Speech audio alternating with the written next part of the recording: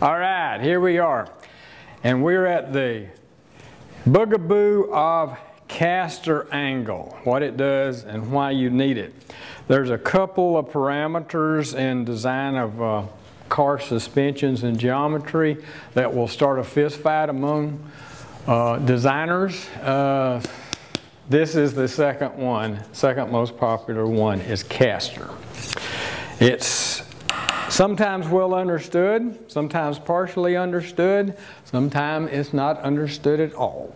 But I'm going to try to distill this down and make it simple. Now, if we have our upright and our spindle, we have our kingpin, which is inclined on this axis, but it is not in, on incline fore and aft. Caster is the incline of the kingpin axis along the longitudinal axis of the vehicle.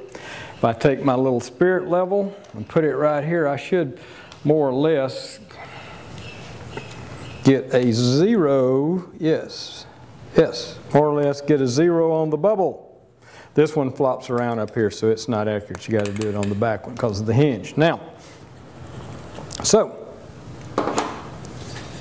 we saw what kingpin inclination can do to the wheel can actually force it down into the ground, lift the front of the vehicle as you turn the wheel from straight ahead. Now, caster is the incline of the kingpin. So what I'm going to do, I'm going to tilt it back.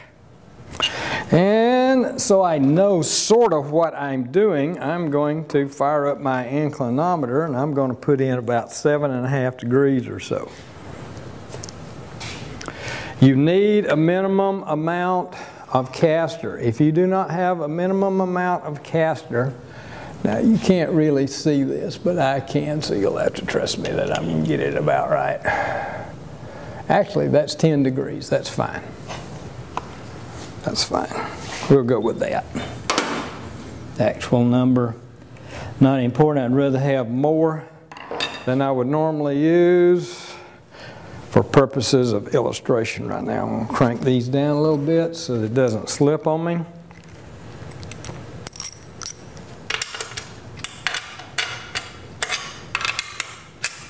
Now, caster and why you need it. How many people have ever heard of a furniture caster? This is a furniture caster. This, they call it a caster because it works on the caster principle. And basically the principle is, is that the pivot point is different from the contact patch. And in order for a rolling wheel to be stable when it's free to pivot about a point, is that the contact patch must be behind the pivoting point. If I pull, I'm stable. Why? Because the pivot point is here, the contact patch is here. This wants to trail behind the pivot point. Trail, trail, trail. This is where the term trail comes from, and all it is, if you extend the pivot down to ground level mark it, measure back to the contact patch, that's your trail in inches or centimeters. Now what happens when you try to go backwards? Instantly, instantly, as soon as you get any velocity at all, it spins around on you. It is not stable in reverse. You can do it if you go really, really slow and carefully, but what happens is that the frictional drag on the contact patch is trying to swing the wheel behind and find the stable position. How many among you have tried to reverse a car at ridiculously fast speeds? I know I have. I know it becomes exponentially more difficult to keep that car going in a straight line. And if you just keep pushing it, you can violently spin the car out. This is why. Your front suspension has caster in it. So when you're in reverse, everything's fine as long as you're going slow. You get up to about 20, 25 miles an hour and all of a sudden, I mean, it just becomes impossible to do it. And caster, caster, caster. So what we have is caster is for straight line stability. If we did not have caster, if we did not have kingpin inclination to keep the wheels wanting to run in a straight line, the faster we drove a vehicle, the more darty it would become until it would become unstable and people would crash, injure themselves, possibly die. It is absolutely for stability. The faster the vehicle, the more caster it must have. Indy cars need a lot more than autocross cars, but autocross cars need some. Why? Because there are certain scenarios and situations where the caster can go to zero or can go negative. If it ever goes negative, then you have that furniture caster trying to whip around and the wheels go into violent shake. They usually do that under braking. Why? Because the front end of the vehicle will dive down into braking, the back end will come up. If you have very, very shallow caster angle, then guess what? It goes, it goes to zero and it can even go negative. When as soon as it goes negative, this wheel's trying to turn around. And you get violent shake in the vehicle. So it's important to have enough. Okay, that's the stability question. What does it actually do to the load on the tires and what does it do to the car when you actually turn? Now, before we saw with nothing but kingpin inclination as we moved away from straight ahead, the wheel would dive down and touch the tabletop in both directions. Now let's see what happens here. Let's move this to the rear. Move it to the rear. Whoa, it's already on the tabletop. Didn't have to move very much at all. Let's bring it back to straight ahead. Now let's swing it here. Hard left turn. Whoa, it goes way into the air now. Here's what happens because this is on an incline. I'll take the wheel off. The spindle starts out parallel it's got two inclinations. It's got two tilts. So one tilt is trying to bring it down, and the caster tilt is trying to, when it's moving this way, is trying to swing it up, but the kingpin inclination is trying to swing it down.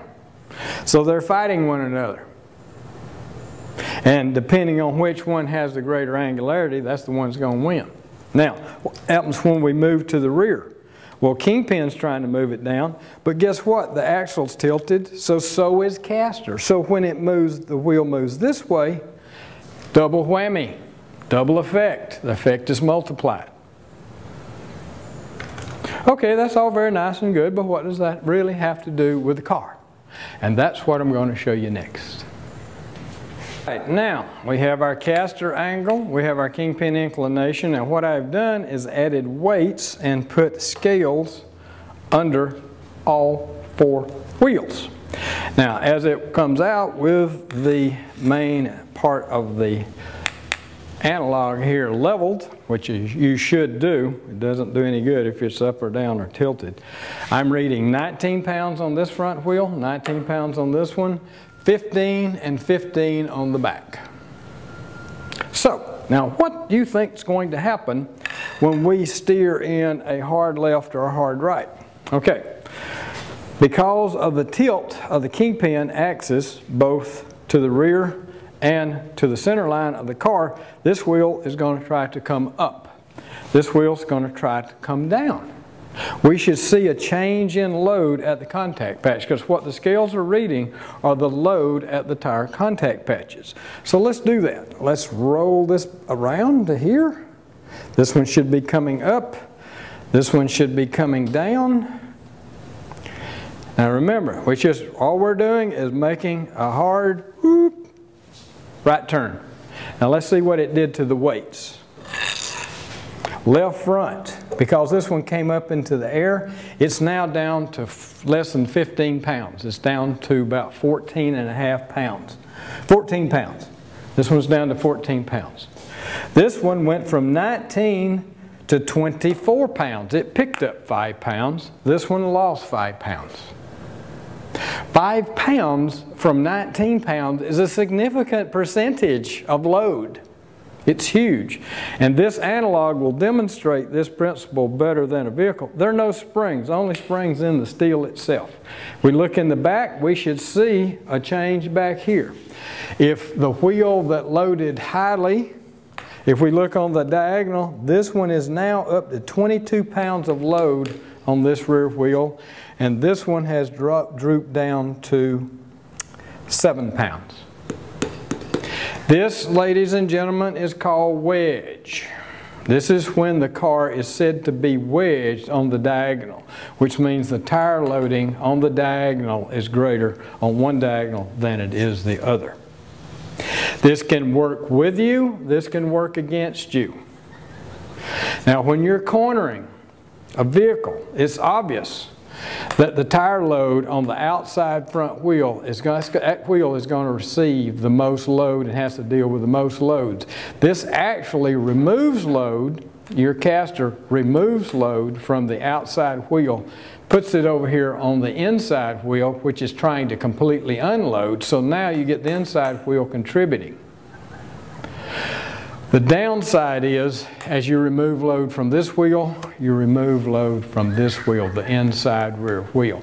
So basically, you've improved the grip on three, and you have greatly lessened the grip on one. Overall, is it an advantage or a disadvantage? Depends on a lot of variables, but usually it's an advantage, as long as you don't carry it too far. But caster can actually help the inside wheels, which is one of the hardest things to do, to get them to carry a load, especially the inside front. And that is what you're having to contend with with kingpin inclination and caster. The, when we talked about Ackerman and reverse Ackerman, here again, there's been great arguments on that, that reverse Ackerman is superior to Ackerman steering. Ackerman is perfect geometry so the tires run, you know, turn off center to describe the line that they're supposed to, the circle that they're supposed to, while reverse Ackerman don't. And it is said that reverse Ackerman improves the lap times because of slip angles and all like this. I say that's a minor, minor consideration. I think that the main thing that improves lap times is that the inside wheel, which is being driven down by both kingpin inclination and caster, the inside wheel has less angularity, so there's less load change. And like I say, it's Goldilocks. You can have too much, you can have too little. What you need is just right. And that's the secret of a setup.